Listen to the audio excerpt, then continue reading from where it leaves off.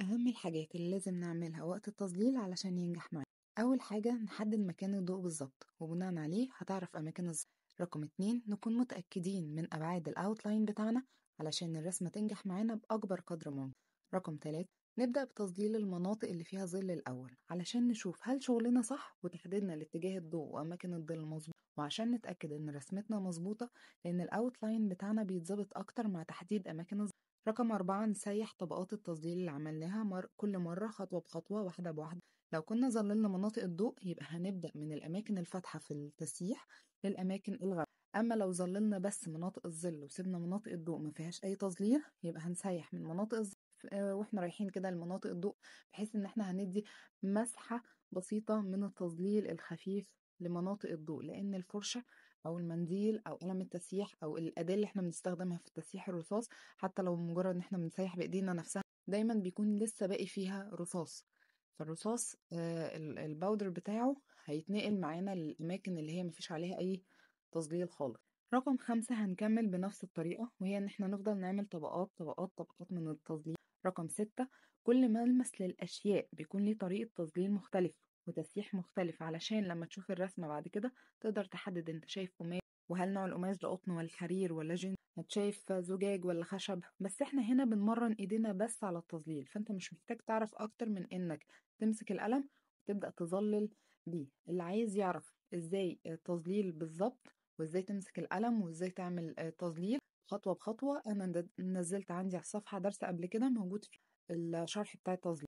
رقم سبعة هنا هنستخدم بس ورق كانسون.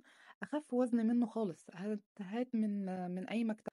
قول له عايز سكتش يكون Canson ويكون الورق بتاعه أخف عدد جرامات موجود عنده. في بدايل عندي لل Canson بتكون أرخص ال Canson نفسه بيكون متوفر في المكتبات تقدروا تستخدموها في التمارين اللي زي دي. أهم حاجة إن ملمس الورقة ما يكونش ناعم خالص زي ورق التصوير أو ورق الدفاتر.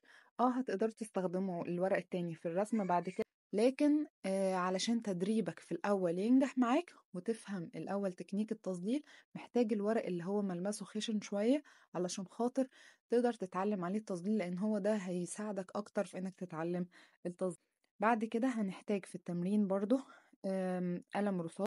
ما محتاجين قلم رصاص واحد مش محتاجين أكتر من كده يكون في درجات ال B يعني تقدر تجيب من أول 2 B وأنت طالع. 2 B 3 B 4 B هات قلم واحد بس ما تجيبش أكتر من قلم. هو قلم واحد كفاية قوي إنك تتمرن بيه في الأول على التظليل.